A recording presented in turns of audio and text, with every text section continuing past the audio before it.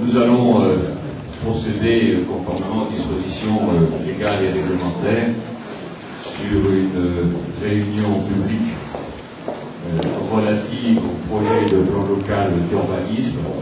Cette réunion faisant suite à la précédente même réunion à peu près il y a un an, actualisée, actualiser les observations de l'État qui avait fait suite à la donc surtout à l'arrêt du projet.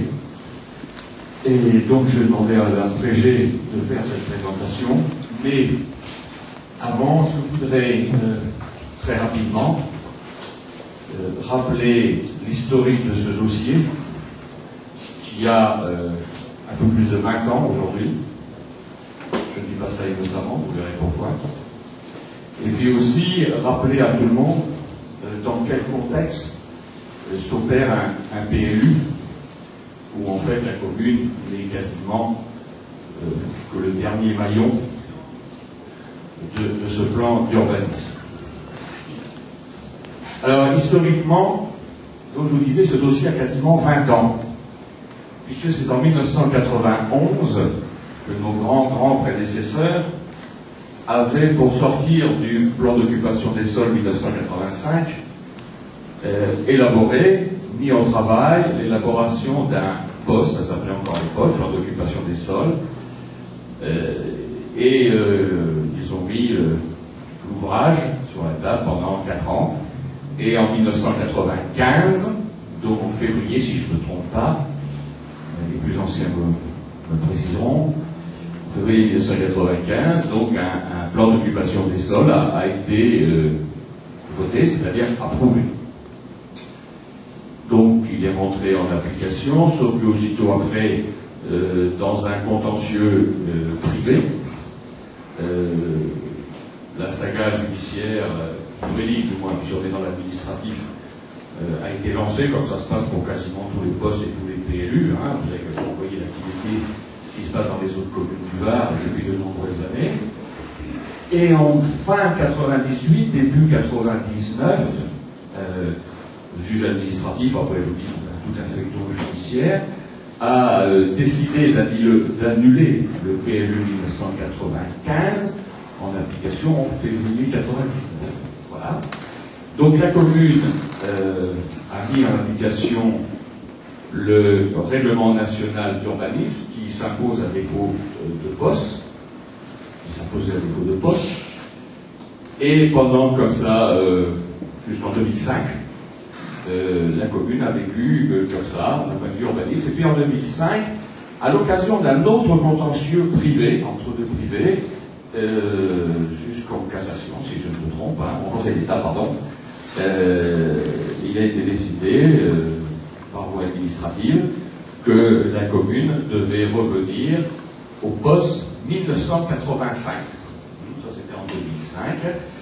Donc euh, l'équipe précédente s'est attelée à la tâche et a travaillé pour préparer un PLU, puisque entre-temps la réglementation euh, euh, des lois sont venues se greffer là-dessus, qui changent peu beaucoup même la, démarche. Et donc ce travail a duré jusqu'en 2007-2008 avec des petits rebondissements. Et en 2008, le, commissaire enquêteur a émis un avis défavorable. Au regard de quoi euh, nous venions juste d'arriver, eh bien nous avons pris acte de cette décision du commissaire enquêteur. Nous avons donc annulé euh, ce projet de PLU et nous avons mis un nouveau PLU en chantier ce PLU, qui suit des démarches assez complexes, assez administratives, vous savez, en France, on, est, on champions pour ça, euh, a suivi toute sa procédure, euh, études, euh, personnes qualifiées, personnes associées, etc., services de l'État, et vous a été présenté donc, il y a à peu près un an. donc des observations ont été ont été émises, elles ont été prises en considération autant que faire se peut. Et donc il a été arrêté euh, peu de temps après. Euh, cette réunion publique comme, il est normal. Donc jusque-là, euh, pas de problème, d'ailleurs pas de problème par la suite non plus, sauf que bah, l'État, comme c'est son droit, car je rappelle quand même que c'est l'État qui assure le contrôle de la légalité sur toutes les communes de France, c'est important à se le rappeler, c'est l'État qui est la priorité de l'égalité, pour autant qu'elle soit conforme et que le juge le dise, euh, a émis un certain nombre d'observations. Ces observations, euh, certaines étaient assez faciles à prendre en considération, souvent des problèmes d'interprétation par rapport à des textes, et puis euh, donc il a fallu retravailler. De concert, là aussi, avec les services de l'État, pour actualiser donc ce PLU au regard donc des observations de l'État. Donc c'est ce qui s'est passé au cours euh, de ces derniers mois. Euh, un travail important a été fait et je voudrais en remercier en particulier M. Jean Ladon, toute son équipe et, tous mes collègues sur l'important travail qui a été fait, les très nombreuses réunions parce qu'on est quand même dans cette situation en train de rechercher de concilier l'inconciliable, y compris même au niveau de l'État, où les services émettent parfois des avis eux-mêmes au nom de l'État contradictoire. Fort de quoi, il y a eu un travail important qui a été fait. Madame je vous remercie parce que je sais que ça a été difficile hein, de, convaincre euh, au regard de l'intérêt, nous, des Bon, fort de quoi euh, c'est pas vieux, donc on a fait la dernière réunion de coordination avec l'État, et pour des raisons de sécurisation juridique. Parce que nous aurions pu, moi j'ai des collègues qui le font, qui prennent en compte des observations de l'État, qui les intègrent et qui vont jusqu'à l'approbation directement. Alors là, on se retrouve dans un problème de forme après. Donc pour éviter, je crois que 20 ans, ça suffit. Hein, je crois donc pour éviter un certain nombre de, difficultés de forme juridique, nous avons décidé avec mes collègues de réarrêter le PLU, qui devrait se passer après cette réunion publique, dans les, semaines qui viennent, très rapidement, après avoir pris en compte toutes vos observations. Voilà. Voilà, ça c'est l'historique. Euh, tout aussi rapidement, je vais vous parler du contexte dans lequel se passe ce, PLU, comment se construit un, PLU. Je passerai ensuite la parole à Madame Trégé. Et bien entendu, euh, après cet exposé, eh bien, vous aurez, euh, nous, écouterons, il s'agit surtout de vous écouter, euh, les observations que nous pourrons prendre en considération. Donc, dans quel contexte se passe? Alors, bien entendu, un PLU est initié par une commune, ça c'est parfaitement vrai. Pour autant, pour autant, ce n'est pas une équipe municipale, quelle qu'elle soit, quelque commune que ce soit, qui décide, ben tiens, on va faire ça là, on va faire ça là, on va faire ça là, là on va laisser en naturel, là on va laisser en urbaniser, on va, on va mettre tant de population là. Non, ça ne se passe pas, et en tout cas plus du tout comme ça. D'accord? Plus du tout.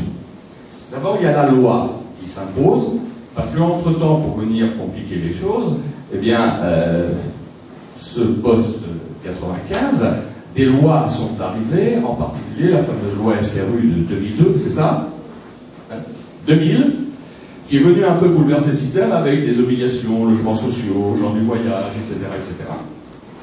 Donc, un, c'est la loi qui s'applique, et il n'est pas possible de faire quelque chose qui ne soit pas conforme à la loi, notamment en termes de quotas de logements sociaux. Voilà. Deuxièmement, il y a eu quelque chose, mais alors qui est passé sous un silence extraordinaire, et qui était probablement, enfin, l'un des dossiers les plus importants pour arriver à terme d'un PME.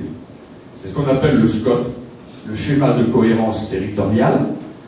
Il a été mis, alors c'est toutes les communes d'un bassin de vie, hein, ça va, euh, oui, ça va de l'est jusqu'à l'ouest, ça va très très loin. C'est ce qu'on appelle le schéma de cohérence territoriale, et qui a été présenté au public et qui a été voté à l'unanimité de tous les conseils municipaux de toutes les communes concernées. Voilà. Or, ce schéma de cohérence territoriale est très important puisque c'est lui qui définit quel type de construction, surtout quelle zone de construction, qui sont déjà dans un document qui n'est pas à caractère cadastral, mais avec des pastilles suffisamment bien précises, on le reverra euh, tout à l'heure, euh, qui dit, ben voilà, euh, vous ne pourrez construire, vous pourrez construire, et vous ne pourrez construire que là. Voilà. C'est le Scott aussi qui définit quelles sont les vocations des territoires. Donc pour nous, nous avons bien entendu ce que vous allez retrouver après dans le PADD, euh, rappeler l'importance que nous attachions à l'authenticité rurale et post-rurale, c'est-à-dire regarder le village tel que là, je crois, une grande partie, je ne dirais peut-être pas l'unanimité, mais une grande majorité euh, souhaite.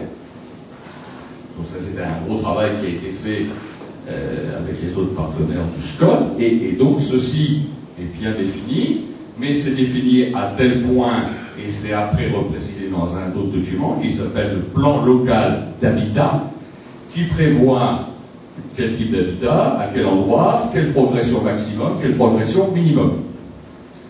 Donc, ce que je voulais vous dire, c'est que toutes ces lois et toutes ces règles s'obligent au plan local d'urbanisme. Donc, vous voyez que après, il a fallu faire, il faut toujours, faire combiner ce qui a été présenté il y a à peu près un an, un an, trois mois, un an, oui, un an, trois mois, ce qu'on appelle le PADD, le plan d'aménagement et développement durable, là aussi, euh, document extrêmement important, qui reprenait ce qui a été dit euh, dans le SCOT, ajuster les particularités des possédales, et c'est le document de base qui permet après d'élaborer un PLUD. C'est pour ça qu'il y a sur le PADD une réunion publique et qu'on ne peut mettre en œuvre une étude de PLU qu'après présentation du PRDD. Donc euh, voilà dans quel contexte ça s'opère. Euh, maintenant, euh, que va-t-il se passer? Réunion publique, donc ce soir. Nous prendrons avec plaisir vos observations.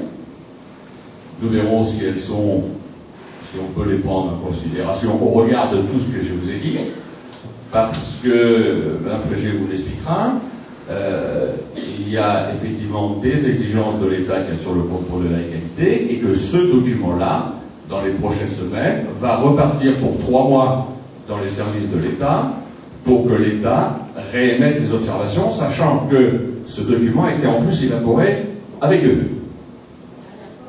Voilà, la dernière fois aussi. Alors après, on est un peu dans le monde de Kafka, Hein, donc il faudra attendre. Et quand l'État aura émis ses observations, eh bien, nous passerons à la fête de l'enquête publique, hein, qui est attendue à peu près pour le, printemps, deux mois, si je ne me trompe. Un mois, oui, c'est ça. De rapport. Et c'est là justement où euh, celles et ceux qui auraient des points très particuliers à aborder euh, devront aller voir, je en recommande, l'enquêteur public, puisque c'est lui qui aura la maîtrise du dossier, et qui étudiera lui-même, en sa qualité d'enquêteur public désigné euh, par le tribunal, toute l'autorité, pour faire des suggestions par rapport au document initial que nous allons voir ce soir.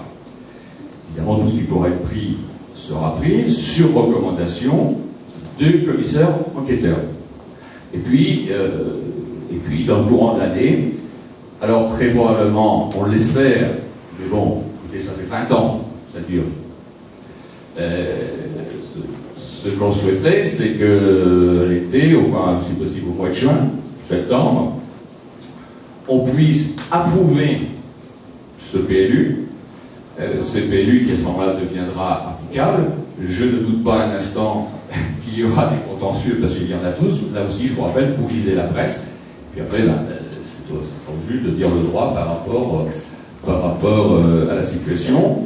Alors, on est quand même en train, après 20 ans, 20 euh, ans de, travail sur ce dossier, probablement arriver à la limite de ce qu'il est possible de faire. Et je le répète encore, c'est vrai dans les communes du Var. Pourquoi? Parce qu'à partir de l'année prochaine, vont s'imposer au PLU un document qu'il a national et qui a quelques fois après a, reçu l'assentiment général, qui s'appelle le Grenelle de l'environnement. Et ce Grenelle de l'environnement va imposer, à partir de l'été prochain, des contraintes telles qu'on les regardera si de besoin, mais dont il n'est pas certain qu'une commune comme le Cossé ait les moyens d'y répondre. Et le Cossé ne sera pas le seul. Et puis tout au long de la réunion, on parlera de, petites choses qui, voilà, où il y, a, des lois, des règlements qui viennent se chevaucher. Donc voilà l'objectif visé. Euh, à l'impossible, nul n'est tenu. J'espère que nous y arriverons euh, tous ensemble. En tout cas, euh, c'est ce que je souhaite pour l'intérêt de notre qualité de vie. Voilà, mesdames et messieurs, je vous remercie. Je vais laisser la parole à Madame Prégé, donc qui va donner l'explication technique de ce PLF.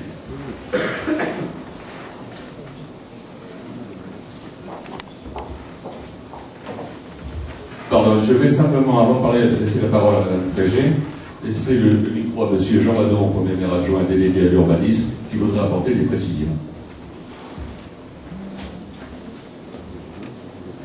c'est justement un, tout petit détail, c'est que le maire vous l'a dit, l'État nous impose beaucoup de choses. Et entre autres, vous verrez, ça va apparaître dans la présentation que va faire Mme Trégé, tous les, points sur lesquels la, il y a des possibilités de, construction, ce soit, vous les verrez tout à l'heure, nous avons dû mettre 50% de logements sociaux. C'est fort, c'est lourd, mais tout simplement parce que si on veut atteindre le, quota exigé par l'État, il n'y a pas d'autre moyen. Euh, un exemple, c'est que l'État exige, enfin ça c'est par le plan local d'habitation, la création de 39 logements sociaux par an c'est très lourd. C'est très lourd, le seul moyen d'y arriver, c'est par le biais justement de ces pourcentages mis sur chaque parcelle dont vous êtes présenté tout à l'heure. Pour changer la loi. Voilà. c'est bon. Donc bonsoir. Donc effectivement, euh, l'objectif de la réunion ce soir, c'est de présenter le nouveau projet de PLU. Alors sachant que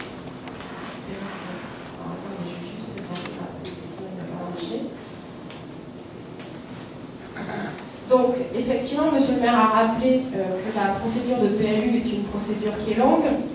Donc, il y avait bien quatre étapes. Les quatre étapes, donc une première étape du diagnostic, une deuxième étape de PADD, le projet d'aménagement de développement durable, qui a été présenté en réunion publique. La troisième étape de traduction réglementaire, donc qui a fait l'objet d'une réunion publique l'an dernier, le 6 décembre 2010. Et puis ensuite, une fois que ce dossier est formalisé, on a euh, l'arrêt euh, du PLU en conseil municipal, donc qui a fait l'objet d'une délibération le 15 décembre 2010 en dernier. Alors pourquoi un nouveau projet de PLU? Eh bien en fait, la procédure euh, s'est arrêtée au niveau de la consultation des personnes publiques associées, qui ont émis un avis défavorable sur le projet, et donc on repart au début de la, de la procédure administrative, donc avec la formalisation de nouveaux dossiers de PLU, qui sera ensuite arrêté comme vous l'avez déjà fait l'an dernier. Ensuite, la consultation des personnes publiques, l'enquête publique l'approbation. Donc là, en fait, on repart sur une étape euh, euh, précédente. Alors, juste pour rappel, la méthode pour la traduction réglementaire, M. le maire en a déjà parlé, mais je, je vais peut-être revenir un petit peu dessus. Donc, le premier élément, c'est le PADD, donc les objectifs de la commune. Mais ce PADD doit prendre en compte un certain nombre de documents, le schéma de cohérence territoriale, le PLH, le programme local d'habitat. M. Fadon l'a rappelé, ce PLH, donc en fait, il n'existait pas quand en 2010 on a arrêté le premier PLU. Euh, depuis, ben, ce PLH a été élaboré et donc il prévoit pour le bosser euh, la production de 39 logements sociaux par an. Donc le PLU doit être compatible avec ce document. Le plan d'occupation des sols est 85, donc qui est vraiment la base de travail à partir de laquelle tout doit être justifié. Et la difficulté, c'est que plus le temps passe et plus ce poste, euh, qui est quand même aujourd'hui obsolète, rend le travail difficile, hein, puisque, bah, vous, le savez, on a quand même beaucoup de zones qui sont parfaitement inadaptées aux lois d'aujourd'hui. Et donc, euh, l'écart étant de plus en plus euh, difficile à gérer, bah, le PLU est d'autant plus difficile à élaborer les risques naturels, donc là aussi euh, des éléments à prendre en compte, les zones AOC, adaptation d'origine contrôlée, et enfin, donc euh, tous ces éléments-là qu'il faut confronter à la réalité du terrain, l'état des lieux. Alors les nouvelles euh, constructions, hein, on a pris en compte les dernières autorisations d'urbanisme, la densité urbaine existante, l'exploitation des terrains, la sensibilité paysagère, etc. Donc un, travail, un petit peu un casse-tête chinois, où il faut intégrer pas mal de choses qui se contredisent. Donc plusieurs outils pour cette traduction réglementaire. Le zonage. Donc le zonage que vous connaissez, donc là c'est juste un rappel pour que vous compreniez bien euh, la démarche. Les zones urbaines, donc qui existaient déjà au poste, et qui sont reconduites dans le PLU les zones NA, donc les zones euh, d'urbanisation euh, future en fait, qui deviennent les zones AU dans le PLU, les zones A urbanisées. Ensuite, on avait les zones NB qui étaient constructibles malgré un défaut d'équipement, donc qui dans le PLU disparaissent en fait. Et donc là, et tout l'enjeu du PLU du Bossé, c'est arriver à reclasser ces zones NB dans le respect des objectifs de la commune, qui était vraiment une maîtrise de l'urbanisation sur les secteurs éloignés du village, mais euh, tout en euh, prenant en compte, on va dire, euh, l'urbanisation existante. Donc là, il y a plusieurs solutions pour classer une zone NB. Soit elle est suffisamment urbanisée et elle revient en zone urbaine, soit on a une volonté de la densifier et elle a quand même un caractère naturel, elle peut être classée en AU. Si elle présente un caractère école, elle est classée en A, et si elle présente encore un caractère naturel, elle est classée en N. Ensuite, on avait les zones NC, donc les zones agricoles qui deviennent les zones A euh, au PLU. Et puis enfin, donc pour finir, les zones ND, donc les zones naturelles du poste, qui deviennent les zones N au PLU. Ensuite, dans les outils, il y a le règlement, que vous connaissez déjà, hein, qui va donner les règles générales euh, pour chaque zone. Et puis, diverses servitudes que vous pouvez voir sur le plan zonage. Alors, pour l'instant, on n'a pas forcément affiché les plans, mais vous pourrez aller les voir dans le détail à la fin de la présentation. Donc des servitudes ou éléments graphiques divers qui se superposent au zonage. On va retrouver les emplacements réservés, euh, qui permettent la réalisation d'équipements d'infrastructures ou de superstructures. Des servitudes de mixité sociale, donc M. Vadon en, parlait tout à l'heure, qui permet de fixer un pourcentage de logements sociaux à produire. Donc c'est en fait euh, grâce à ces servitudes de mixité sociale qu'on donne l'assurance à l'État que le PLU est bien compatible avec les objectifs du PLH des trames qui vont informer sur la présence de risques naturels. Alors aujourd'hui, il faut bien savoir que le PLU n'a pas euh, vocation de traduire le risque. Qu'en fait, les, risques naturels euh, sont des servitudes quand on a un plan de prévention des risques. Mais de toute façon, on a quand même une indication dans le PLU sur les zones qui sont euh, susceptibles d'être touchées. Alors, je me suis concentrée sur les évolutions par rapport au PLU de 2010 et vous présenter les grandes modifications qu'il y a eu. Alors, certaines euh, par rapport à des réflexions qui ont avancé, et puis d'autres qui sont vraiment à la demande de l'État. Donc, si on commence par les zones urbaines, la zone UA, donc le centre ancien, là, il n'y a pas d'évolution par rapport au PLU 2010. Euh, on est toujours euh, sur cette zone qui n'a pas bougé, le même règlement, où on a un bâti qui a l'alignement, on avait déjà une servitude mixité sociale à 50% sur un îlot du centre ancien, ça n'a pas évolué non plus. Euh, au niveau du règlement, pas d'évolution, on est sur une hauteur maximale à 12 mètres, on a un secteur UA, petit a qui est limité à 7 mètres, pas de coefficient d'occupation des sols puisqu'on est en, centre ancien, il n'y a vraiment que l'emprise au sol et la hauteur qui est réglementée. Euh, sur la zone UB, on a globalement peu d'évolution par rapport au PLU 2010. Alors la zone UB, c'est tout ce qui est euh, dominante d'habitat collectif et équipement collectif de la commune. On va mettre euh, principalement le long des boulevards. Alors, on a une petite évolution sur le secteur du collège, où en fait on a pris en compte la zone de risque qui est reclassée en zone naturelle ici, donc sur cette partie-là. Ici, on avait en fait alors, nous, on était parti du fait que comme la zone de risque, dans tous les cas, s'impose au PLU, on n'avait pas forcément besoin de la classer en zone naturelle. Les deux services de l'État nous ont demandé, pour que ça soit plus lisible euh, pour le public, de bien faire le distinguo. Donc, les zones qui sont inconstructibles du fait des risques restent en zone naturelle. Par contre, donc, on a une évolution également sur ce secteur-là. Euh, sur la carte coopérative, on a mis une servitude mixée sociale qui était de 100% et qui passe à 30% sur ce programme, donc euh, ponctuellement. Et également une euh, évolution de la zone UB. Sur l'entrée nord donc, du village, on avait euh, un grand secteur qui permettait du renouvellement urbain, notamment sur la zone d'activité économique en entrée de ville.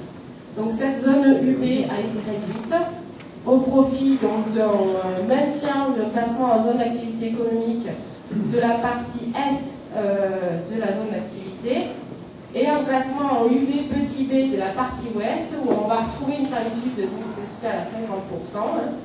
Mais euh, par contre, donc, on a un cost qui va être plus faible pour le logement. Donc on a toujours un cost de 0,60 sur l'ensemble du secteur, mais avec une limitation pour le logement à 0,30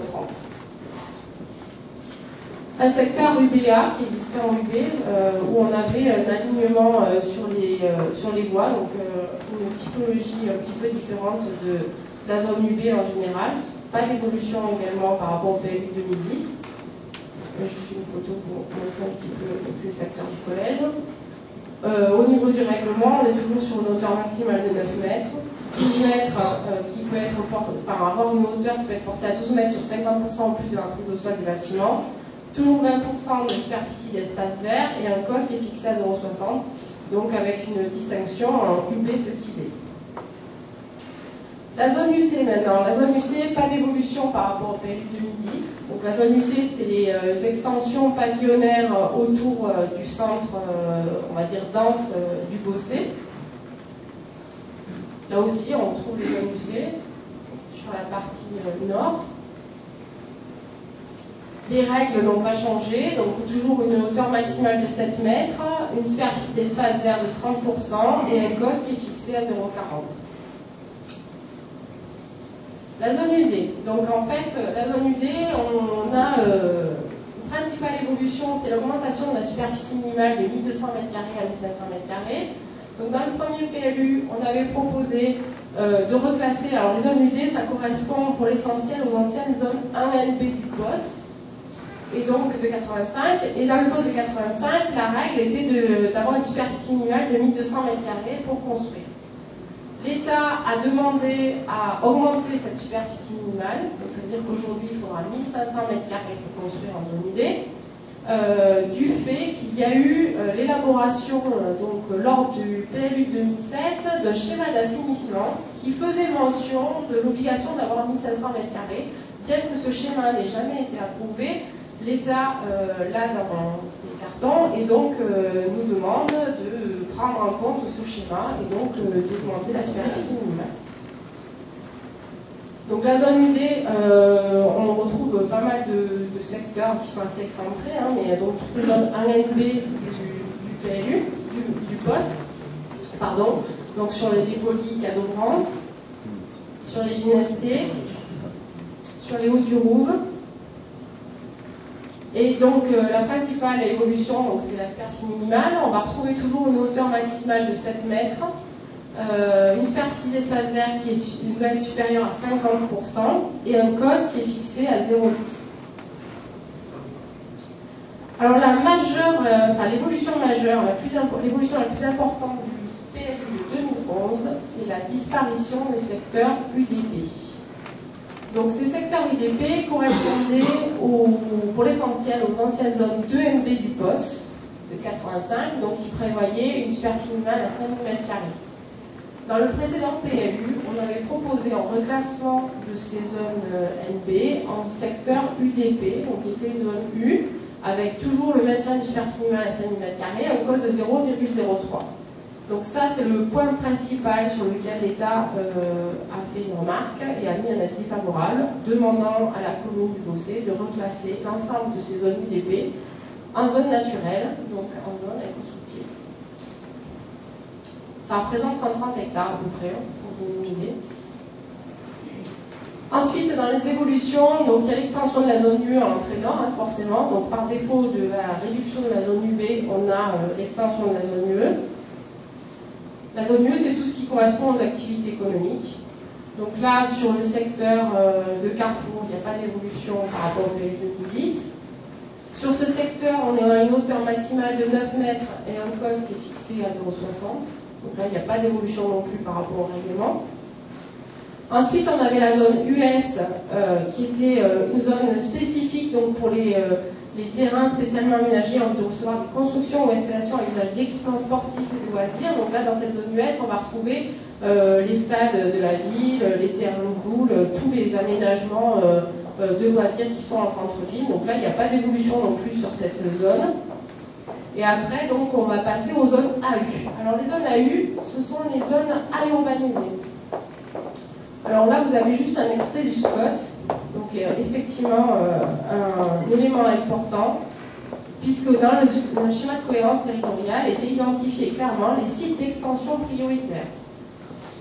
Sachant que donc le PLU devant être compatible avec ce SCOT, les choix d'extension ou de développement euh, urbain de la commune sont déjà figés finalement. La commune finalement doit composer avec ces éléments du schéma de cohérence territoriale. Donc tout naturellement, euh, les zones AU sont fixées sur ces secteurs de manière prioritaire. Donc on va retrouver sur Maran une zone A urbanisée donc, qui est scindée en deux zones, un AU et deux AU, qui sont euh, des zones qui aujourd'hui sont inconstructibles au PLU. Ce sont des réserves foncières qui devront faire l'objet d'une modification du PLU euh, pour être constructibles sous condition avec la réalisation d'un schéma d'aménagement. Donc aujourd'hui, ça reste inconstructible, il faudra le modifier le document d'urbanisme. Et donc la principale évolution, c'est l'augmentation euh, du taux de logements sociaux qui passe de 30% à 50% sur ces zones, comme l'évoquait M. Vadon tout à l'heure. Donc pour répondre notamment aux objectifs du PLH qui euh, demande 39 logements euh, sociaux par an, ce qui correspond sur 10 ans à 390 logements. Et donc ces 390 logements, le PLU doit justifier qu'il peut générer euh, cette production. Donc euh, c'est pour ça que ces servitudes ont été augmentées. Donc là, juste une photo pour euh, visualiser la zone AU de Maran. Ensuite, on avait la zone AU de Pigné, donc là, on est sur la même chose. Hein. On avait une servitude mixte sociale de 30%, elle passe à 50%. Et par contre, donc, a été demandé également le déclassement de la partie sud de la zone de AU en zone naturelle pour prendre en compte donc euh, un peu mieux le risque d'inondation.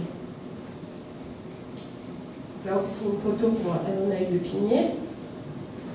Alors pour justement euh, permettre la réalisation de ces logements, une nouvelle zone a été ouverte, ouverte euh, pas vraiment, mais une nouvelle zone, une nouvelle réserve foncière a été identifiée donc, sur le secteur des lecs, qui prévoit là aussi 50% de logements sociaux et donc là aussi, une réserve foncière qui devra faire l'objet d'une modification du PLU pour être constructive.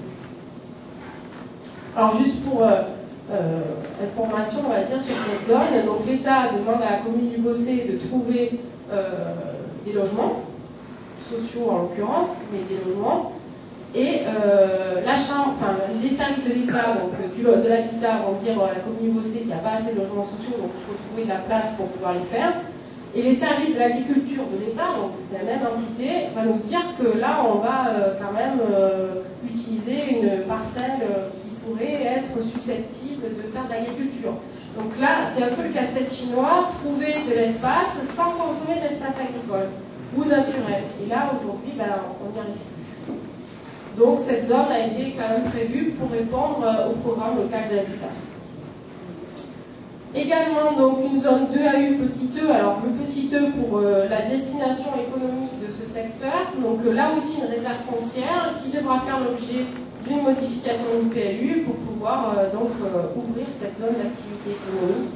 Et notamment en lien avec le renouvellement urbain du nord du village, donc la zone UBB qui vient un petit peu réduire la zone d'activité, ou du moins potentiellement réduire. Donc là, il n'y a pas d'évolution également par rapport au PLU 2010. Alors, euh, donc là, les zones agricoles, il n'y a pas d'évolution majeure par rapport au PLU 2010. Hein, il y a un petit coquille un PowerPoint, donc c'est bien là. Euh, sachant que sur le PLU du Bossé, donc on avait euh, un bilan agricole qui est très important, puisqu'en fait, sur la partie sud de la commune notamment, il y a eu un travail qui a été fait vraiment de reconquête agricole, identifier toutes les parcelles anciennement agricoles ou classées en AOC qui pouvaient faire l'objet de remise en culture et qui ont été reclassées en zone agricole préservée avec un petit P pour permettre donc une reconquête de ces espaces. De la même façon au nord, euh, il y a pas mal d'espaces aussi euh, qui ont été euh, identifiés pour l'AOC, notamment pour l'huile, donc pour les plantations d'oliviers, qui ont été reclassés également en agricole préservé Donc là, avec un bilan qui est quand même plus que positif, puisqu'on a un gain de 530 hectares de zone agricole sur la commune. Enfin, donc on arrive aux zones naturelles. Alors les zones naturelles, euh, elles reprennent euh, ben, tous les espaces dont on n'a pas parlé, avec des sous-secteurs spécifiques, euh, et elles représentent une majeure partie de la commune, hein, puisqu'elles apparaissent ici en couleur. Donc elles proviennent des zones naturelles qui étaient déjà au poste, mais également de de nombreuses nombreux changements euh, de, vocation des zones NB qui ont été massivement reclassées en zone naturelle à la demande de l'État. Donc tous les secteurs UDP qui ont disparu, ben, ils redeviennent zones naturelles. Alors également, juste pour finir, euh, vous montrer un petit peu comment a été traduit le risque nature inondation. Donc euh, c'est des trames de couleurs qui apparaissent sur le plan de zonage. Donc quand il y a une trame comme ça, qui n'est pas un petit quadrillage, on est sur un risque nature inondation avec un règlement spécifique. Et puis également, vous avez dans le PLU, dans le zonage, le, risque naturel mouvement de terrain, où on va retrouver des zones rouges qui sont inconstructibles et des zones euh, jaunes orangées, euh, verdâtres, ça sort sur le PowerPoint, euh, qui elles euh, sont constructibles sous, sous condition de réalisation d'une étude géotechnique. Voilà. Donc après, par contre, je n'ai pas reparlé de EBC, mais juste pour vous montrer, c'est ce qu'on voit en vert avec des petits ronds. Donc ça, c'est les espaces boisés glacés, j'en avais parlé au tout début, euh, qui permettent de protéger les boisements euh, existants. Juste pour terminer sur euh, l'évolution des superficies, donc sur, au poste de 85, on avait une tâche urbaine, on va dire, une, une surface destinée à l'urbanisation de 720 hectares. Elle était de 547 hectares au PLU 2010 elle est aujourd'hui de 310 hectares au PLU 2011, donc à la demande notamment des services de l'État.